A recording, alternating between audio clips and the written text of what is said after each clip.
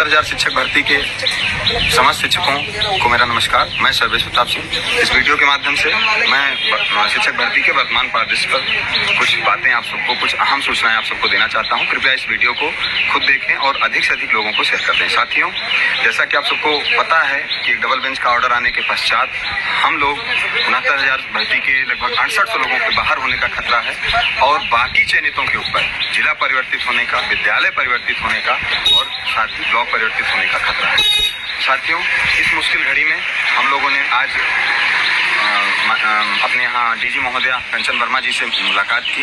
उनका कोई भी स्पष्ट रुख हम लोगों की तरफ़ नहीं है, जिसके कारण हम लोगों ने निर्णय लिया है कि 22 अगस्त को यहाँ 10 बजे से शिक्षा निदेशालय कार्यालय सीआरटी में धरना देंगे हम लोग, और उसमें अधिक से अधिक संख्या में पहुंचिए। और ये धरना केवल लो मैरिट के जो जातिवाद इसमें फैला रहे हैं कि सवर्ण, आरक्षित लो मैरिट हाई मैरिट किसी का नहीं है। केवल और केवल समस्त चयनिकों का चयनितों के लिए 22 अगस्त को 10 बजे शिक्षा निदेशालय वही पुराना धरना स्थल एस पहुँचे और यहाँ पे सरकार पे दबाव बनाया जा सके कि अड़सठ सौ लोगों को अगर नौकरी देना है तो उन्हें दे। लेकिन हमें निकाल कर या हमारे ऊपर तलवार लटका कर और आप सबसे आग्रह है कि अधिक से अधिक संख्या में 22 अगस्त को यहाँ पहुँचे।